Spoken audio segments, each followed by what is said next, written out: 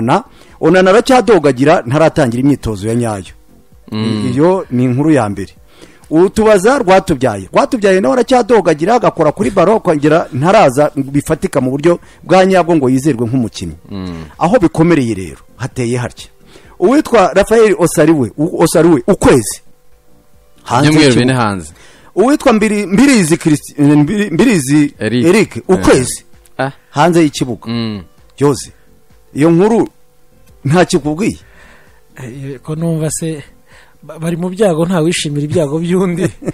Ariko bashobora kuzatworohereza akazi. Hmm? Bishobora kuzoroshya akazi ko kuri cumi n'esheshatu. Ariko na byo ntabwo dupfa kubyizera neza. Hari izijya zibivuga zityo zikanabitangaza no ku buri buke na maci iri bube Mwagera- mu kibuga ukabona bisutsemo none se kuwa ka cyumweru ntabwo wabonye ko trezoro abo bantu bose yabigijeyo? Eh, na- narabibonye uko yabagenje. Ariko imikirire niyo mvuga. Uyu Hey. munsi ushobora kuba tubivuga bakaba bakira vuba se. Ukabona ari mind game ya wa musaza ubyara kwinca Hmm? oya ni amakuru avayo Yizewe. Hmm. Yeah. niba, yizewe. n'ibihangane nta kundi byagenda. Ubwo rero ngibyo bya rayon siporo bariyo no kwihangana nta kundi ntabwo nturetse ko atari njye wabavunnye muragira ngo mbigenze ariko ndi kubona nyine ikipe muzahura na zo kuzazigobotora bizakomera bizagorana.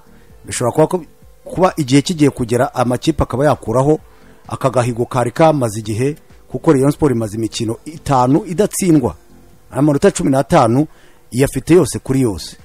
Igiye kwinjira muri n'ibi n'ibi bikipe wamagana inameze neza yifitiye amanota yayo. re- reka tunavuge ko rero nubwo ifite cumi n'atanu yari irimo ihinga mu mu ntabire.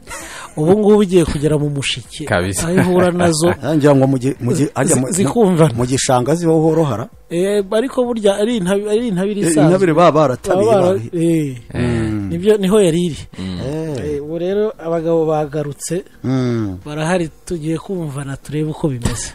Okay. mushiki